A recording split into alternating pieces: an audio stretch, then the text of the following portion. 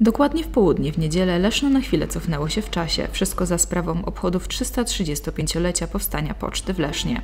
Zgodę na jej utworzenie wydał 27 kwietnia 1683 roku król Jan III Sobieski, zaznaczając w piśmie do Leszczynian, że jest to miasto zamieszkałe przez wybitnych kupców i rzemieślników. Leszczyńskie Koło Polskiego Związku Filatelistów kontynuuje tradycję wysyłania przesyłek pocztami specjalnymi. Były już poczta balonowa, sterowcowa i szybowcowa. Tym razem przesyłki wyruszyły w podróż zaprzężonym w konie dyliżansem. W specjalnym namiocie Poczty Polskiej na ulicy Chrobrego można było nadawać przesyłki do dyliżansu do samego południa. O 12 worek z listami trafił do dyliżansu, który wyruszył w drogę przez Leszno, mając do odebrania jeszcze dwa worki z pocztą z ulic Westerplatte i Ostroroga. Wszystkie przesyłki ostemplowano informacją, przewieziono pocztą dyliżansową. Swoją podróż zakończyły pod Miejskim Teatrem, skąd nadane zostały pocztą tradycyjną.